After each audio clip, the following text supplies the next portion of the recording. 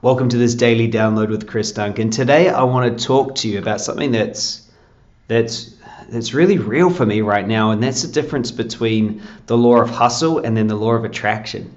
And I feel as though a lot of times we we're not certain that they both can exist. There's like this fight. No, it's all about hustle. No, it's all about the law of attraction. And and I truly think it's about both. Look, gravity exists and there's a law of gravity, but that doesn't mean that yesterday when I got on a plane that gravity held the plane to the ground. There's a law of lift that was greater than the law of gravity. But then when the plane chose to use the law of gravity, then it came back down to the earth. And so it was able to use a different law inside another law. And I think this is true. And when it comes to the law of attraction versus the law of hustle or the law of action. Look, it's completely true.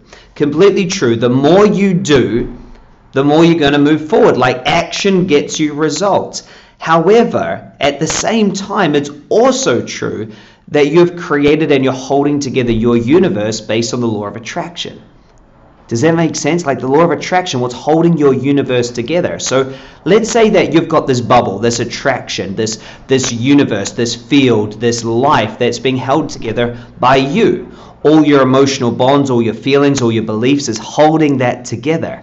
It's being held together. That's the law of attraction. Now, if you're trying to bring something else in and there's no room, sometimes you need to even have a different law, which is the law of vacuum. And the law of vacuum says when there's an opening, something's going to fill it.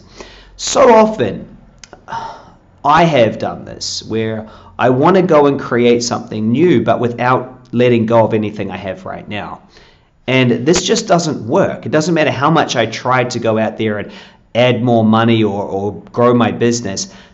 If there wasn't space, if the law of attraction wasn't able to have space to attract the new thing in, it really didn't seem to matter how much hustle I did. And it was almost like I was that that fly banging his head against the, the window when the open window is right here. You needed to create that opening or take a step back and allow it to go through. So here's the message that's coming through to me to you today is the law of hustle is real. The law of attraction is just as real you must move forward and you must also attract that which you are, that which you want to create. And so today I want you to experience life as both like you're sitting on that conveyor belt and taking you to where you want.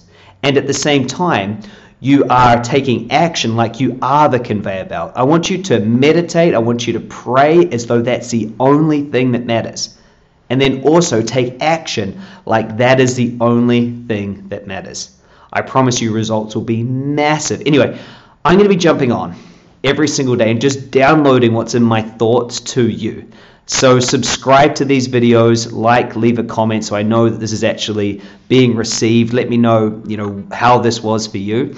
And uh, I'll see you tomorrow. Thanks a lot. Have a great day.